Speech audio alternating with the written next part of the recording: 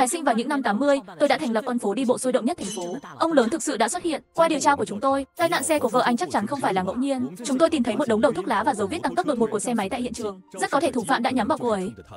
Nhưng con hẻm đó rất ít người qua lại. Chúng tôi cũng chưa tìm được nhân chứng. Anh phải có sự chuẩn bị tâm lý. Tôi hiểu, trong biển người mênh mông, tìm một người còn như mò kim đáy bể, huống chi là tìm một người chưa từng gặp. Nhưng tôi vẫn phải cảm ơn anh đã đến báo tin này.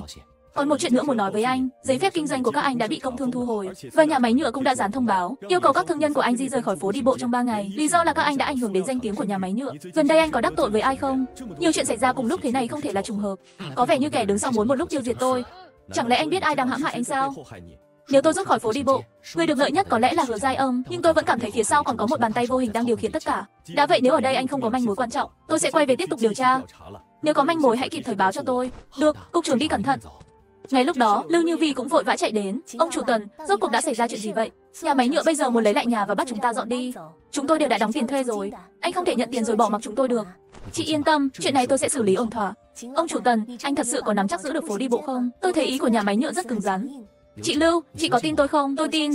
Vậy là được rồi. Phiền chị khi về giúp tôi trấn an các thương nhân. Ngày mai tôi sẽ tổ chức một cuộc họp thương nhân để giải thích rõ với mọi người. Chắc hẳn mọi người đều đã biết về việc nhà máy nhựa muốn lấy lại nhà xưởng. Hôm qua vì tôi có chút việc riêng nên chưa kịp xử lý. Hôm nay tôi đến để đưa ra câu trả lời thỏa đáng cho mọi người. Thực ra theo cá nhân tôi, có người đang giật dây, đuổi anh đi mới là mục đích lớn nhất của họ. Ông chủ Tần, chuyện này không thể để họ làm bừa được. Phải nghĩ cách giữ được phố đi bộ mới đúng. Mọi người yên tâm, tôi đã ký hợp đồng chính thức với nhà máy nhựa. Chuyện này không phải họ muốn làm gì thì làm. Về điểm này, tôi Tần Phong lấy nhân cách bảo đảm. Ông chủ Tần, anh đừng nói lời to lớn. Đó là nhà máy nhựa đấy. Đất là của người ta. Lấy nhân cách bảo đảm có tác dụng gì? Nếu anh không tin, bây giờ tôi có thể hoàn tiền thuê cho các anh. Có một câu tôi phải nói trước. Thương nhân đã lấy lại tiền thuê. Dù sau này nhà máy nhựa không lấy lại được nhà xưởng từ tay tôi, chúng ta cũng sẽ không bao giờ hợp tác nữa. Nếu ai vẫn tiếp tục tin tưởng tôi, xin hãy về và yên tâm làm ăn của mình. Vừa nói xong, xung quanh lập tức im lặng như tờ. Tất cả thương nhân đều chìm vào im lặng. Vậy anh hoàn tiền thuê cho tôi đi. Nhà xưởng này dù sao cũng là của nhà máy nhựa. Cánh tay không thể vặn được đùi. Vạn nhất anh lấy tiền bỏ trốn thì sao? Tôi không dám đánh cược. Không vấn đề, đây là một nghìn đồng. Ông chủ La, chúng tôi có tiền và hàng hóa rõ ràng. Mời ông rời khỏi phố đi bộ hôm nay nhé. Có ông chủ La mở đầu. Những thương nhân đang do dự cũng lần lượt đòi lại tiền thuê. Ngay lúc đó, một nhân viên của cục công thương bước vào. Đồng chí Tần Phong, có người tố cáo anh bán đồ điện kém chất lượng giả làm hàng tốt, thậm chí còn mua bán đồ điện ăn trộm. Bây giờ mời anh đi với chúng tôi một chuyến, và chúng tôi sẽ kiểm tra tất cả sản phẩm trong cửa hàng của anh. Thế nào gọi là hàng kém chất lượng giả làm hàng tốt? Tôi vốn làm kinh doanh đồ điện cũ, đồ điện đều được sửa chữa rồi mới bán ra, chất lượng chắc chắn không có vấn đề. Còn về việc anh nói tôi mua bán đồ điện ăn trộm, điều đó càng không thể. Các anh có bằng chứng không? Chúng tôi cũng làm việc theo pháp luật, tình hình cụ thể cần phải điều tra mới có thể xác định. Bây giờ mời anh đi với tôi một chuyến. Rất nhanh Tần Phong đã bị người của công thương đưa đi. Các thương nhân thấy tình hình này lại xôn xao. Ông chủ cần phạm tội gì vậy? Không biết nữa, chị nghe nói là cái gì bán hàng kém chất lượng gì đó. Tôi vừa nghe người của công thương nói, ông chủ Tần mua bán đồ điện ăn trộm. Thảo nào kiếm tiền nhanh thế? Có người ghen tị vì ông chủ Tần kiếm được tiền rồi. Trước đây chợ chúng ta bán hàng kém chất lượng nhiều lắm. Cũng đâu thấy công thương đến kiểm tra. Đồ điện mang về từ cửa hàng anh phần lớn đều hỏng. Con nói không phải bán hàng kém chất lượng, anh tự ý mua bán đồ điện cũ mà không có giấy phép. Anh biết đây là hành vi gì không? Tôi vốn làm việc sửa chữa. Những đồ điện hỏng đó là mới thu về chưa sửa. Phải chờ sửa xong mới bán cho khách hàng. Hơn nữa tôi đã đăng ký giấy phép kinh doanh. Trên đó còn có giấy phép bán đồ điện cũ nữa. Anh ta chính là Tần Phong phải không? Đúng vậy, trưởng sở mã, chính là anh ta. Thằng này bán đồ điện kém chất lượng. Chúng tôi đang thẩm vấn anh ta. Phố đi bộ của Tần Phong thuộc quản lý của sở công thương bên đó. Các anh lại vượt quyền đưa người đến đây. Bậy bạ, lập tức thả người, đem những thứ lấy từ cửa hàng người ta tự tay mang trả lại. Chúng tôi cũng chỉ nhận được tố cáo của dân nên mới đi kiểm tra. Tuy con phố đi bộ đó không thuộc quản lý của chúng ta, nhưng người tố cáo là ở khu vực của chúng ta mà. Trưởng sở, điều này có đúng quy định không? Tôi nói lần cuối cùng, các anh tự mang đồ trả lại cho ông chủ Tần. Chuyện này các anh không cánh nổi đâu. Đừng đùa với lửa, ý anh là Tần Phong có người lớn đứng sau phải không? Tôi hiểu rồi, bây giờ thả người ngay. Rất nhanh tôi được trưởng sở đưa đến văn phòng. Bên trong còn có một người đàn ông trẻ đang ngồi. Xin chào Tần Phong, tôi là thư ký của phó thị trưởng La. Tôi tên là Hồ Hán Hoa. Phó thị trưởng rất xem trọng con phố đi bộ của anh, nên muốn mời anh lên tỉnh báo cáo tình hình. Tần Phong trông còn trẻ mà đã tạo ra được một con phố đi bộ sôi động như vậy, thậm chí cả tỉnh trưởng cũng phải chú ý. Nếu không phải thư ký thị trưởng kịp thời tìm đến tôi, nếu làm trì hoãn công việc cấp trên trách phạt xuống thì khổ. Thì ra là vậy, vậy chúng ta khi nào xuất phát? Bây giờ phải đi ngay, anh ở đây đã mất quá nhiều thời gian rồi. Được, tôi gọi điện một cái, rồi chúng ta xuất phát. Trần Bách, bây giờ tôi đã ra khỏi cục công thương rồi. Cần phải lên tỉnh có chút việc, anh giúp tôi giữ vững tình hình ở phố thương mại, ai đến thu cửa hàng cũng không được giao ra. Nếu có thể, anh phải nghĩ mọi cách kéo dài đến khi tôi quay về. Được, anh Tần Phong, anh Tần Phong đã ra khỏi đó rồi phải không? Đúng vậy, anh ấy dặn tôi nhất định phải giữ vững phố đi bộ. Chúng ta dù thế nào cũng phải kéo dài đến khi anh ấy về. Anh chính là tài năng thương mại Tần Phong đó à? Ăn mặc khá bình thường nhỉ? Anh đã nghĩ ra việc xây dựng một con phố thương mại như thế nào? Kể cho chúng tôi nghe kinh nghiệm đi. Bây giờ cả nước đều đang khuyến khích kinh doanh cá thể. Thành công của anh là tài sản quý giá của chúng tôi đấy. Đây là kinh nghiệm từ tương lai, nếu cứ nói thế với tỉnh trưởng, chắc chắn sẽ bị bắt vì coi mình là thầy bói mất. Rất nhanh Tần Phong đã kể cho tỉnh trưởng quá trình thuê nhà xưởng của mình, cũng như kế hoạch cho phố thương mại. Hai người nghe tôi nói, trợn tròn mắt kinh ngạc, tốt lắm, tốt lắm, không ngờ chúng ta đã phát hiện ra một tài năng thương mại. Nếu theo kế hoạch của anh, trong vòng một năm, con phố này sẽ nổi tiếng cả nước đấy. Tỉnh trưởng, phó thị trưởng la, những điều này giờ chỉ có thể là ý tưởng thôi, muốn thấy được e là khó. Tại sao vậy? Con phố thương mại này sắp bị thu hồi rồi. Hôm qua cơ quan công thương đã niêm phong phố đi bộ của tôi, sau đó nhà máy nhựa lại nói, tôi ảnh hưởng đến danh tiếng của họ, muốn lấy lại khu vực phố thương mại đó. Mấy ngày nay các thương nhân đang tìm tôi đòi lại tiền thuê đấy. Trước khi đến đây, còn may là thư ký của phó thị trưởng La đã đưa tôi ra khỏi cục công thương. Nhà máy nhựa mấy năm trước nói là muốn mở rộng sản xuất, đã chuyển ra ngoại Âu, đến giờ vẫn trong tình trạng lỗ vốn. Năm nào chính phủ cũng phải bù lỗ nuôi sống họ, còn có thể ảnh hưởng gì nữa chứ? Thật là vô lý. Những điều anh nói có đúng không? Thông báo nhà máy nhựa yêu cầu chúng tôi dọn đi vẫn còn dán trên phố đấy à? Tôi vốn định đến gặp nhà máy nhựa để nói rõ chuyện này. Kết quả là vợ tôi bỗng dưng bị xe máy đâm. Thủ phạm còn bỏ trốn. Tiếp đó lại có người tố cáo tôi bán hàng kém chất lượng. Bắt tôi đi, y anh là nhà máy nhựa đã thuê người hãm hại vợ anh phải không? Tình huống này cũng không phải là không thể. Nhưng nếu chuyện này là thật, do nhà máy nhựa làm thì tính chất sẽ khác. Phó thị trưởng La, anh thấy chuyện này thế nào? Tôi cũng nghi ngờ nhà máy nhựa đang âm thầm phá hoại. Tỉnh trưởng yên tâm, tôi sẽ đi điều tra chuyện này ngay.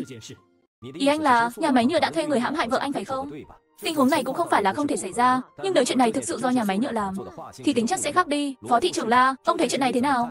Tỉnh trưởng yên tâm, tôi sẽ đi điều tra tình hình ngay. Thành phố Kim Hải chúng tôi nhất định sẽ cố gắng hết sức để bảo vệ phố đi bộ của Tần Phong.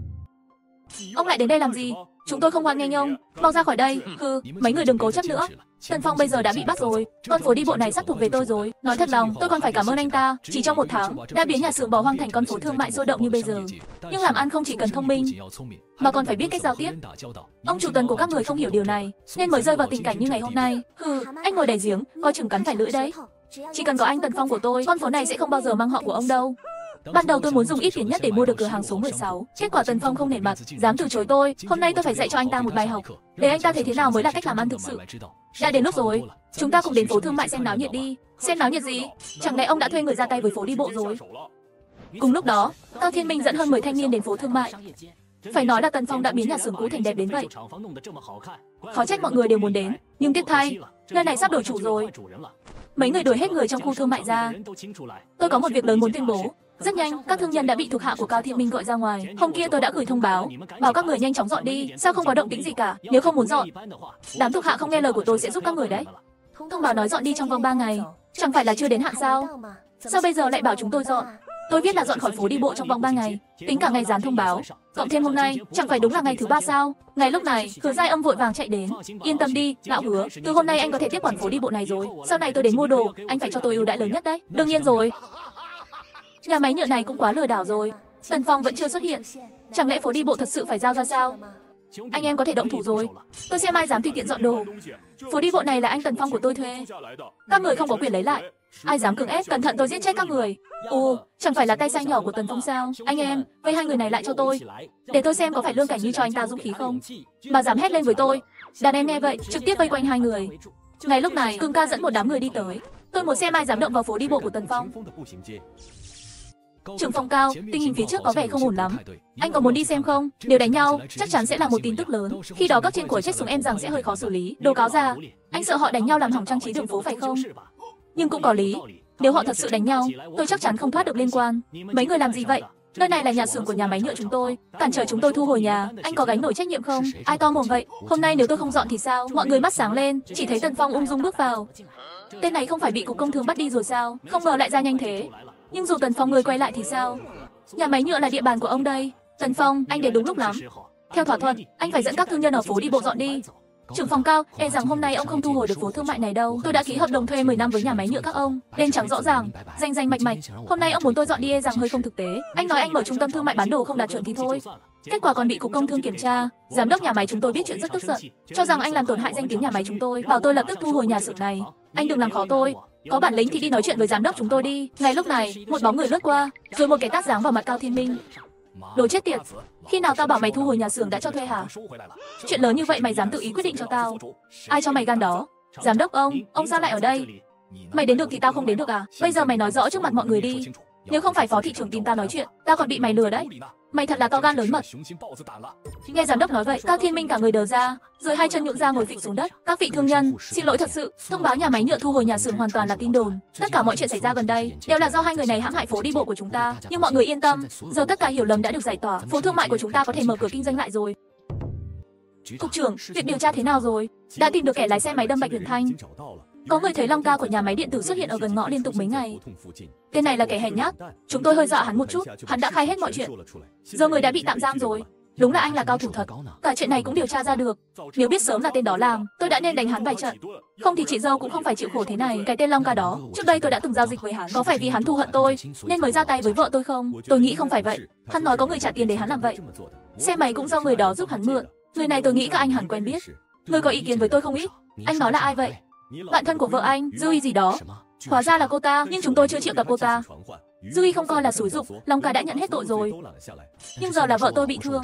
Món nợ này tuyệt đối không thể tính như vậy được. Nếu cô ta đâm tôi, tôi có thể không truy cứu, nhưng cô ta lại chọn ra tay với vợ tôi. Đây là danh giới của tôi, không thể tha thứ. Tôi muốn cô ta ngồi tù mục xương. Tôi hiểu ý anh. Họ không muốn vào người thân. Huống chi Bạch Huyền Thanh vừa mới mang thai đã gặp chuyện như vậy. Chuyện tiếp theo tôi biết phải làm thế nào rồi. Ông chủ La, anh đại giá Quang Lâm, có chuyện gì không? Ông chủ Tần, lúc đó tôi cũng nhất thời hồ đồ, nghe theo lời diễm Pha, tôi xin lỗi anh ở đây. Lần này đến đây chủ yếu là muốn bàn với anh một việc. Tôi muốn thuê lại cửa hàng đã thuê trước đây. Về tiền thuê có thể thương lượng lại, tôi tăng thêm 500 nghìn một năm. Anh thấy thế nào? Ông chủ La biết nhiều người thèm muốn kinh doanh ở phố đi bộ, cửa hàng trống càng có nhiều đồng nghiệp thèm thuồng. Nếu cửa hàng trống, tôi cho thuê với giá 1,5 triệu một năm. Anh nghĩ có thể cho thuê được không? Theo độ hát hiện tại của phố Ba 1,5 triệu một năm chắc chắn có người tranh nhau thuê. Đã có thể cho thuê được, tại sao tôi còn phải cho anh thuê? Hơn nữa tôi đã nói từ trước, thương nhân đã trả lại tiền thuê tôi sẽ không bao giờ hợp tác nữa. Dù sao tôi cũng từng là thương nhân ở phố đi bộ vài ngày. Anh xem vì tôi cũng là thương nhân đợt đầu tiên, cho tôi thuê lại cửa hàng đi. Ông chủ đã nói xong câu này, bản thân cũng thấy xấu hổ. Dù sao anh ta cũng là người đầu tiên đề nghị trả lại tiền thuê. Anh chỉ là người thuê của tôi thôi, chúng ta có tình nghĩa gì đâu. Hơn nữa lúc trả tiền thuê anh là người tích cực nhất. Tôi đã nói rồi, người trả tiền thuê sẽ không bao giờ hợp tác nữa. Ông chủ La, mời anh về. Sau khi bị từ chối, ông chủ La chỉ có thể ủ rũ rời đi. Trong lúc tuyệt vọng, anh ta lại gặp Hứa Giai Âm trên đường. Ông chủ La, lâu rồi không gặp. Anh vừa đi đâu vậy? Vừa từ nhà ông chủ Tần ra, định thuê lại cửa hàng cũ. Nhưng ông chủ Tần nói người trả lại tiền thuê sẽ không bao giờ hợp tác nữa. Đang lo không biết phải làm sao. Tần Phong này thật là không biết điều. Rõ ràng là vì mâu thuẫn của anh ta với nhà máy nhựa mới gây ra sóng gió này. Cuối cùng lại đổ trách nhiệm cho những người thuê như các anh. Thật là vô lý. Nói đến đây, Hứa Giai Âm mặt đầy nghiêm túc. Nếu tôi nói bây giờ có cửa hàng y hệt như của Tần Phong, anh có tin không? Cửa hàng y hệt ư? Đùa gì vậy? Bây giờ ngoài khu thương mại của Tần Phong, đâu còn nơi nào có vị trí như vậy. Phía sau nhà máy nhựa còn trống đấy. Chỗ đó tôi đã thuê rồi. Chúng ta có thể dựa vào phố thương mại của Tần Phong để thu hút khách. Dù sao cũng cùng một con phố, những cửa hàng của tôi giờ đều trống. Anh có hứng thú làm ăn không? Thập niên 80 tôi thuê một dãy nhà xưởng cũ, ai cũng chê cười tôi là kẻ ngốc không đầu óc. Nhưng tôi đã cải tạo nhà xưởng cũ thành phố thương mại, kiếm được mẻ vàng đầu tiên. Trong tiện sửa chữa, Hứa Giai Âm nhìn Tần Phong đầy khinh thường. Tôi đã thuê nhà xưởng phía sau phố thương mại. Chẳng bao lâu nữa sẽ trang trí thành phố thương mại y hệt chỗ anh. Mong ông chủ có thể tiếp tục phát triển nơi này. Như vậy chúng ta mới có thể kiếm được nhiều tiền hơn. Dựa vào lượng khách của tôi để kinh doanh, còn nói một cách đường hoàng thế, anh cũng quá trơ trẽn rồi. Chúng ta đều là người làm ăn, dùng chút thủ đoạn không phải rất bình thường sao? Hơn nữa lần nào cầm phía sau không được mở phố thương mại. Lát nữa bên tôi sẽ bắt đầu khởi công. Báo trước cho ông chủ Tần biết. Hứa Giai ông khuê khoang vài câu rồi vội vã rời đi. Vương Thúy Hoa và mấy người nghe thấy vậy cũng không khỏi lo lắng cho tôi. Anh Tần Phong, bọn họ thật quá đáng quá. Anh tuyệt đối không thể để họ làm ăn được. Đúng vậy, đây đúng là kiểu người trước trồng cây người sau hưởng bóng mát. Tuyệt đối không thể để âm mưu của họ thành công. Anh Tần Phong, tình hình hiện giờ thế này, chúng ta phải làm sao? Trước đây tôi cũng từng nghĩ đến vấn đề nhà xưởng cũ phía sau, chỉ là có nhiều việc quá nên quên mất chuyện này. Nhưng anh ta đã thuê rồi, chúng ta cũng không quản được người ta, đâu thể không cho người khác xây dựng phố thương mại ở đây được. Điều tôi không hiểu là tại sao nhà máy nhựa cho thuê nhà xưởng lại không tìm tôi trước, mà lại trực tiếp cho Hứa Giai Âm thuê? Chẳng lẽ vì chuyện Cao Thiên Minh lần trước khiến anh ta mất mặt? Ngay lúc này, một chiếc xe hơi màu đỏ dừng lại trước cửa tiệm sửa chữa. Sau đó một người đàn ông văn nhã bước ra từ xe. Ông chủ Tần, lâu rồi không gặp, lần này tôi đến là để nói về tình hình nhà xưởng phía sau. Sự việc là thế này, trước đây Hứa Giai Âm luôn muốn thuê nhà xưởng cũ phía sau của chúng tôi, nhưng tôi vẫn chưa phê duyệt. Nhưng ngay chiều hôm qua, Hứa Giai Âm cầm giấy phê duyệt đặc biệt của cục đất đai quận đến tìm tôi. Trên đó phê duyệt đặc biệt, bảo chúng tôi giao toàn bộ khu nhà máy cũ cho Hứa Giai Âm để xây dựng khu phố thời trang. Nghe đến đây, Tân Phong mới hiểu ra sự tình, thở dài có phần bất lực. Có vẻ tôi đã ra tay chậm rồi, nhưng tôi có một câu hỏi. Giấy phê duyệt đặc biệt của Hứa Giai Âm từ đâu ra vậy? Điều này tôi cũng không rõ lắm, nhưng tôi thấy bên Hứa Giai Âm đã bắt đầu khởi công rồi. Tôi cảm thấy chắc chắn anh ta sẽ còn đối đầu với anh. Gần đây cẩn thận một chút. À, tôi vừa từ văn phòng phó thị trưởng la về. Ông ấy bảo tôi nhận với anh vài câu, tiến lên mạnh mẽ phía trước. Chờ đợi thời cơ, đừng nản lòng. Có vẻ phó thị trưởng La vẫn kỳ vọng rất cao ở tôi. Tôi nhất định không thể phụ lòng ông ấy. Anh thanh niên này không tầm thường, giỏi hơn bọn già chúng tôi nhiều. Nhà máy nhựa dưới sự lãnh đạo của chúng tôi cũng ngày một xa sút. Anh thông minh nhanh nhẹn, Phố Ba Di này trong thời gian ngắn đã có sự thay đổi to lớn. Tôi tin tưởng anh, đừng để tên hứa giai âm đó đánh bại nhé. Giám đốc nói xong vỗ vai Tần Phong, xoay người rời đi. Thời gian trôi qua nhanh chóng. 10 ngày sau, Lưu Như Vi cầm một tờ quảng cáo hớt hải chạy vào. Ông chủ Tần đâu rồi? Có chuyện lớn rồi. Anh Tần Phong vừa mới ra ngoài, chưa về. Xảy ra chuyện gì vậy? Các anh xem đây là tờ quảng cáo hứa giai âm vừa mới phát. Trần Bách nhận lấy tờ quảng cáo từ tay Lưu Như Vi, xem kỹ, trên đó viết bằng chữ đen cỡ lớn, cho thuê cửa hàng địa điểm vàng phú thương mại, mỗi năm chỉ 800 đồng. Nhìn đến đây, Trần Bách vứt phát tờ quảng cáo xuống đất. Tên hứa giai âm này thật là mặt dày mày dạn quá, tiền thuê của chúng ta là 1.000 đồng. Giờ hắn đặt giá thuê 800 thì chẳng phải đang cướp việc của chúng ta sao? Không được, tôi phải đi tìm hắn. Nói rồi Trần Bách định đi tìm hứa giai âm tính sổ. Khoan đã, anh Tần Phong không phải đã nói đừng nóng vội sao? Có chuyện gì thì đợi anh Tần Phong về, chúng ta bàn bạc xem phải làm sao. Ngay lúc đó, Tần Phong chậm rãi từ bên ngoài đi vào. Anh Tần Phong, anh đã về rồi. Có chuyện lớn rồi. Tờ rơi hứa giai âm vừa mới phát phải không? Tôi đã thấy rồi, nhưng nói thật, hứa giai âm trời chiều này đẹp đấy. Nhà xưởng phía sau cải tạo xong sẽ có gần 50 vị trí cửa hàng. Nếu tiền thuê thấp như vậy, thì những cửa hàng đó chắc sẽ rất đắt khách. Đúng vậy, đến lúc đó chắc chắn các thương nhân của chúng ta sẽ đều chuyển sang bên đó. Rõ ràng là đang đẩy chúng ta vào đường cùng. Chúng ta phải làm sao đây? Tần Phong trong lòng cũng rất lo lắng, nhưng trên mặt không biểu lộ gì cả, ngược lại còn cười một cái. Người ta nắm trong tay giấy phê duyệt của quận, chúng ta dùng muốn can thiệp cũng không được, nhưng tôi cảm thấy phía sau chuyện này có uẩn khúc. Xem ra phải tìm phó thị trưởng La để tìm hiểu tình hình. Lúc này trong văn phòng ủy ban thành phố, phó thị trưởng La nhìn bản báo cáo trong tay, nhíu chặt đôi mày. Ủy ban quận đã coi khu nhà xưởng bỏ hoang phía sau nhà máy nhựa là đất kinh tế đặc biệt và cấp cho một thương nhân tên là Hứa Giai Âm. Nếu tôi nhớ không nhầm, khu vực đó hiện đã có một con phố thương mại. Giờ lại cấp cho một nhà phát triển khác là sao? Đây không phải là có người muốn phát triển kinh tế sao? Hơn nữa theo tôi biết, Hứa Giai Âm này là người có năng lực, cũng có tiềm lực kinh tế, nên tôi mới cấp cho anh ta. Phát triển kinh doanh cá thể tự chủ đúng là việc tốt, chỉ là việc sử dụng đất này có hơi không đúng. Ai cũng biết có một người tên Tần Phong đã kinh doanh ở đó rồi. Ông sợ có người giành mất thị trường phải không? Phó thị trưởng La, ông lo quá rồi. Hiện nay khu vực nhà máy nhựa đã trở thành khu vực phồn hoa nhất Kim Hải. Tôi nghĩ đó chỉ là điểm khởi đầu để phát triển kinh tế thành phố chúng ta. Tuy ở đó đã có phố thương mại, nhưng không ảnh hưởng đến sự phát triển của người khác. Thêm vài tần phòng nữa, kinh tế Kim Hải của chúng ta chẳng phải sẽ tốt hơn sao? Nghĩ thì tốt đấy.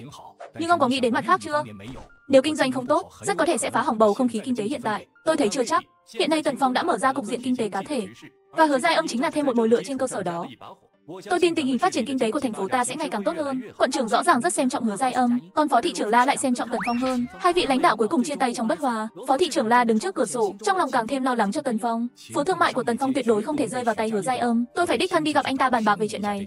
Ngay lúc đó, Tần Phong bước vào. Phó thị trưởng La, giấy phép đất kinh doanh của Hứa Giai Âm là chuyện gì vậy? Mấy ngày trước chúng ta không phải đã hợp nói sẽ hỗ trợ mạnh mẽ phố thương mại của tôi sao? Sao lại để Hứa Giai Âm chen vào? Hơn nữa tôi nghe nói khu đất đó của anh ta còn không cần trả tiền thuê. Đang định tìm anh bàn về chuyện này đây. Nói thật với anh, đây là do chính quyền quận cấp cho Hứa Giai Âm, có thể Hứa Giai Âm đã cho họ một số lợi ích.